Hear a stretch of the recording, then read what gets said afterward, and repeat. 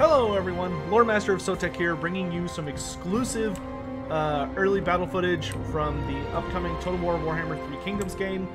Uh, this is featuring the uh, DLC that you can pick up for free if you pre-order the game or get it during the early adopters time, which I think is in the first week of release. So I'm playing as the Yellow Turban and uh, we had the ability to show you guys some campaign footage and some battle footage, and this is my battle footage.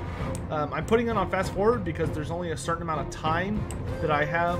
Um, there's like a time limit on how much footage I can show, and this battle is super duper long, but it barely fits within the time limit. But as I was playing my Yellow, Yellow Turban campaign, I had a game where it was literally I am outnumbered by a lot. So I have about uh, I have a little over 3,000 troops, and my opponent has a little over 4,000 troops. So I am significantly outnumbered, but to make things worse, I'm playing as the Yellow Turban, which that is a faction that's kind of primarily made up of peasants, essentially. And my enemy is being led by Liu Biao, who of course is actually a powerhouse of an early game character and he has brought a lot of much higher tier infantry than me, just because they're not peasants; they're actual genuine troops.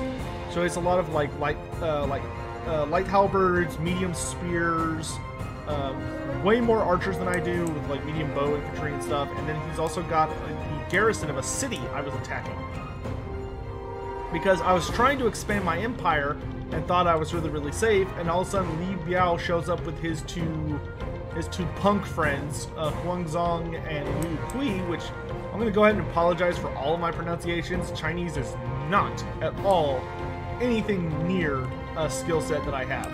So bear with me. I'll try and get better as the game is out because this is definitely a game I'm going to be playing. And this battle definitely plays into why. I mean, first of all, you got to note how gorgeous this map is. I mean, between the fact that the sky looks a lot more natural and really, really pretty than it does in Warhammer, and there's also just really really cool effects going on like these really intense but pretty like mist and fog effects. Um, it, I don't know like this this almost kind of feels like a swamp based map just because of all the fog and like it's dark and the forest and all the lakes and stuff. But it's a gorgeous map and all of the mountains in the background and it's just super pretty. I mean granted Warhammer's a lot more exaggerated but I do wish the natural beauty was of this level. Granted, Warhammer's also a lot older. Uh, you know, Warhammer was released what? And was released like four years ago now, three, four years ago, and obviously this comes out in less than two weeks. So, uh, but yeah, game looks really, really good. So let's go ahead and get involved in the battle. Uh, first, kind of walk you through some things if you're if you've never even looked at 3K is that obviously the generals are not fantastical, magical leaders who have godlike powers and yada yada yada. They are humans, but I'm, I am playing romance mode. Um, there are two kinds of modes in the game. There's records mode, which is like everything is meant to be historically accurate. So a lot of the characters will be just human, they'll have bodyguards, but like a stray arrow can still come in and kill off one of your characters, right? Whereas I'm preferring to play romance mode, which is based more on like the the legendary story of the Three Kingdoms, the romance of the Three Kingdoms, where your characters are kind of larger than life and they have a lot of and in romance mode they do have special powers. So like um, some just to show off some of these, um, every character has like an archetype that they fit, which kind of dictates their abilities. Though oftentimes they may have unique skills and abilities. Um, so, like for Hiye here, who is my faction leader, he has really, really crazy abilities. Like, uh, okay, it's not gonna, it's not gonna let me just look at that. Annoying. Whatever. Um, oh, you can see it here. So he's got um, recovery, which makes it so that all of the generals that are fighting in this battle, so Hiye and then uh, over here, both have the ability to regenerate health. So every second, they're re uh, regenerating uh, 25 health. And you can see we're going to catch out this guy here. Um, we also have abilities like I have all fronts, which makes I my guys crush you for this insult. immune to fatigue and gives me melee evasion and armor, which is so sexy. uh, being immune to fatigue is just great. And then he has another passive buff called One with the People, where he increases uh, melee evasion and morale for all nearby troops, which is basically like melee defensive leadership, if you want to think of it that way. But anyway, so knowing that I'm general needs our aid. knowing that I'm outnumbered by over a thousand troops, and they also have way more commander characters than I do, because I have a healer, which is Hiei over here, and then I have two scholars, which scholars are essentially like they're decent melee combatants, but kind of what their their gimmick is is that they have really interesting they have a lot of really interesting buffs that allow them to um, do significant stat buffs to themselves or debuffs to enemies. Uh, meanwhile, over here, our enemy has three Sentinel troops. Um, these two kind of basic-looking guys, and then also Huang Zong, which Sentinels are basically Guardian characters. Um, they're kind of designed to like they're kind of designed to protect your other characters, either by using abilities to pin down enemies and like hold them back, and generally they tend to be rather tanky. Then of course they have Liu Biao as their their faction leader and overall, and he's a commander type, which means not a very good fighter, but he has a ton, ton of leadership and general abilities, and he's an excellent, excellent army leader who like can do a lot of really significant morale boosts for all of these guys. And then last they have Liu Kui, and he is a Vanguard type soldier, which means that he is a brutal melee combatant. But unlike the, I think they're called champions. Um, champion characters you generally want to throw into melee and just kind of leave them there. Vanguard characters are more about They running around and like doing uh, cycle charging, essentially. But in any event, so knowing that I was facing a much superior force, what I decided to do was use the terrain to my advantage. Just like in Warhammer, um, this fairly deep water, like waist deep water, will provide a significant debuff to any um, melee infantry that's trying to fight in it. So I decide to go ahead and make my stand here. I think it was a cloud Look, the enemy run! But um, in any event, we since we, we already did catch out one of their characters there, we also managed to run down an archer unit with that little death squad I've got back there. And now the battle has begun in earnest. So we do have what people we can uh, in the front line. Unfortunately, I don't have a ton of shielded infantry, but I do try and just get the troops I know are going to hold out really, really well against the initial charges up on the front line. Because like I said, my guys are mostly peasants. So here, I'm desperately trying to move everyone into position, and we basically are going to plant our flags along this Come on! shoreline Surely you could do better. and dare them to come take me down. Oh, how witty! How very witty! I need to change these guys to have Chinese voiceovers. I think that's doable. Uh, thankfully, uh, uh, compared to the, The way the game was unit earlier, based What on footage that I've seen, they the amount of talking the characters do is significantly reduced. Um, you can actually go a fair amount of time without them saying anything, which is great because nobody wants to listen to Show no mercy! talk the entire time. So here You the battle seem to be lines struggling. have Need some help? crashed against one another Amazing that you can both and talk we and are battle. into the full fight now. So we have archers exchanging fire. I've got characters running in. He's got characters running in. He sent his vanguard character to slam into my lines over here. I sent both my scholars to keep each other safe and to maybe try and focus down Liu Biao, though he does manage to slip away from us. Uh, I am trying to get Iman here over to, to use his suppressive fire ability, The enemy which you'll probably see go off at some. You'll see it go off a lot at this battle. But the, what it does is he basically fires out like three volleys of arrows that just explode and do like tons of damage and provide a significant debuff. But it might be a little bit before he fires it off the first time. But here you can see a really, really powerful buff goes down, 100% range block chance, and unbreakable on all these troops coming from Yu Bao. That is an insane general that! ability. Strike your targets! Uh, I don't have anything like that. But in any event, um, now that I, uh, now that we're fully committed to the battle overall, arrows are flying both ways, troops are uh, falling from both sides. My scholars are trying to hold the line, uh, and of course, I'm slowly but surely making my way back to the battle line with uh, Hiei here and his yellow turban horsemen. who are my best troops. They're not that great, but they're my best troops. So they are riding south hard and fast, uh, trying to get to the battlefield so that I can start tearing through these archer units and of Our course men support flee the battlefield. Here you can see the fact that my army is almost entirely made of peasants and light infantry is really starting to turn Move against me quickly. because those triple characters led mostly by the vanguard actually managed to push through my line here. So I'm kind of in an oh shit position because now there's this big gaping hole. Ah, the here you go. So that's the that's the volley explosion. Which look at that debuff. Minus 500 melee charge, minus 25% charge speed, minus 33% melee attack. That is awesome. In any event, though, unfortunately, uh, these troops did manage to push through. Thankfully for me, they're only light infantry. They're light axe and light halberd, um, which light halberd don't do that great against infantry. Uh, light axe will, but I do have them significantly outnumbered in this back line. These archers should be able to push back the light halberds, and my troops are rallying back here, so they're going to be charging back into the fray. Uh, meanwhile, so the fighting just kind of is going to continue on at this point, with people just slaughtering each other brutally left and right uh, Shoot! as war Hurry! go. It's so nice to see standards again. You just see all these, uh, you see all these dudes carrying around flags. It actually, uh, the nice thing about there being so many flags is it's actually the easiest way to tell who's who. Um, the the yellow turbans are nice because obviously they have a lot of yellow coloration going on, so it's generally easier to see your troops. But even here, you can see my enemy has some uh, yellow uh, troops. But the flags are definitely where you can.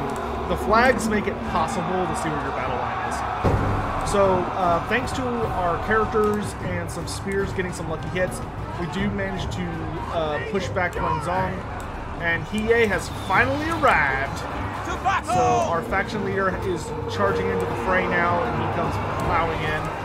He does have a lot of really, really nice buffs that Look, the enemy run. make him exceptionally good at dealing with being surrounded. So you can see a lot of my troops around here are starting to get uh, buffs from him. We're pouring in archer fire on any troops that are facing their backs to us, so we can just do tons and tons of damage. My cavalry did run in here and are chewing through archers. Unfortunately for me, he has sent characters back to respawn. But since he has sent characters back to respawn, that does actually give my characters the ability to turn the tide in this battle. And I noticed that Yu Biao here doesn't have his bodyguards. So all three of my characters go riding Go, in go, to go! uh, try and take him out. Unleash fury. These two basically run right at him, and then uh, Hiei here uh, kind of waits for a more opportunistic. Oh wait, no, that's March at the Iman. You can see he's firing in his uh, ability there. It's a beautiful uh, cross thing there, and then I don't remember who it is, but somebody somebody strikes into killing blow here in a sec. Who is it? All right, Move. Fight. Bring it down! Bring him down!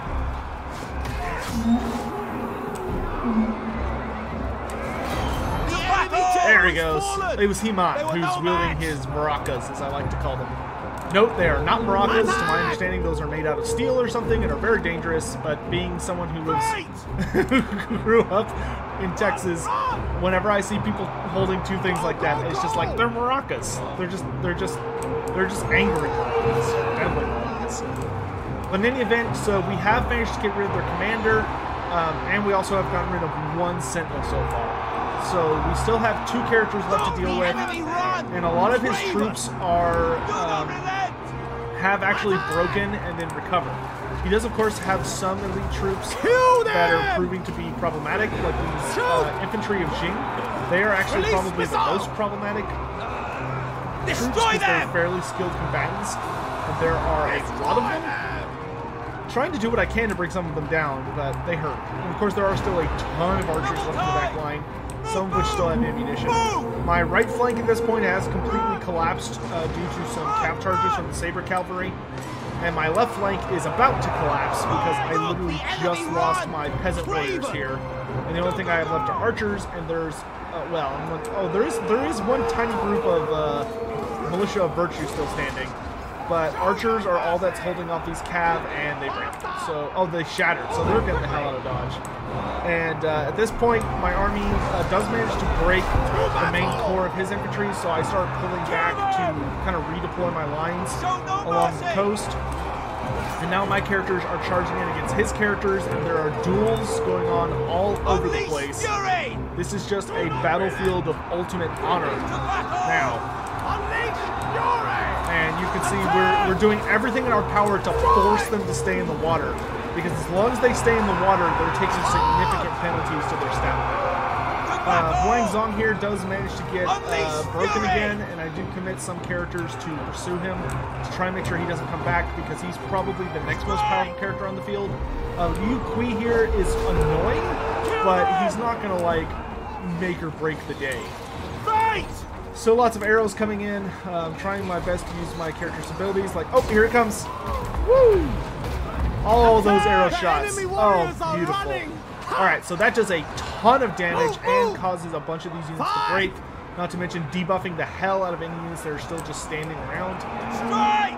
Uh, and we continue uh, fighting to our best here. Uh. Huang Zong, I believe, has been. Uh, we rode him off the battlefield. We didn't kill him. But this entire time, the balance of power is still significantly against me. We're down to four, about 500 troops, eh, about 450. He's still over a thousand. Oh, there he goes. So he's running off the battlefield now. So we've got their leadership down to only two characters against my three, and one of them is severely wounded. relent! Meanwhile, my characters, thanks to uh, ability, whenever they're whenever they're not engaged in combat, they've been passively regenerating Destroy them! Which is just so Faster! powerful. So we break off uh, Huan! Chi here, and I'm Move trying to chase him away with Wu Da, get him off the battlefield, and now I'm committing my forces to try and deal with uh, Lu Qi here, who's of course super annoying. Destroy them! And he's actually really buffed right now because one of his relatives has fallen. So he actually has a significant damage buff on top of some other stuff. He does run away, um, and at this point the battlefield kind of descends into mayhem because all that's really left are a bunch of flaming What units cowards! and generals. But here you can see just the sheer volume of death that has taken place on this on this shoreline. I think most of the corpses are actually enemies, but you can just see like the archer line. There's just nothing but yellow. But you can see that we actually held the line really, really well. It's just yellow Move! flags from this side back, with to the my devil! reception, and then there's just a bunch of red flags in the water. We're on the very, very shore. So my men held exactly where they were supposed to. Over here, we're fighting against this pocket of spear guard, but they are much, much better at fighting than any of my troops are, because once again, they're just poor, poor peasants. Over here, um, very similar situation, another high spearman unit with some axe infantry, but they're Hurry! actually being supported by Bourgeois, so they do have a character holding them together. Meanwhile, over here, Hiei is dueling against a mass amount of infantry, but they're all just archers, so he should be okay. Shouldn't be any serious issues there. And we need to go ahead and hit the fast forward button just because we're running a A little unit short on time. perished! Meanwhile, uh! He-Man has ran off some more units off the battlefield, and the only character still holding up the leadership of the enemy army is, of course, Liu Kui. So I send in all of my characters against him. We get another volley there. All of my characters jump in on this guy and just start beating the crap out of him. I do manage to hit him with Judgment, which significantly reduces his melee damage Look, the enemy run! and he breaks. And the moment he breaks, pretty much the rest of his army, which is all archers and other guys who are like exhausted and really, really tired, pretty much all of them down to a man uh, start to break. And you see the balance of power finally starts swinging up in my favor. But I will say, at least in this case, I do feel the balance of power is a lot more forgiving in that it allows you to have a really long, drawn out, uh, epic battle um, compared to Warhammer, which, you know, like if the balance of power was that significant against you at the start, the odds of being able to do anything about it feel like they'd be really, really low because you just get hit with uh, more significant penalties, but maybe not. I don't know. Um, I did have a ton of troops. But in any event, uh, we have managed to completely force back the enemy. And with that, the yellow turbans are successful. We claim victory. They still have more troops than us overall. I survived the battle. I went from 3,000 troops to about 800 troops, but he went from about 4,000 troops to about a 1,000. Uh, So overall, it was a super duper fun fight. Um, I'm really, really liking the way this game is turning out. Uh, the campaign is actually my favorite part. The battles, the battles are good.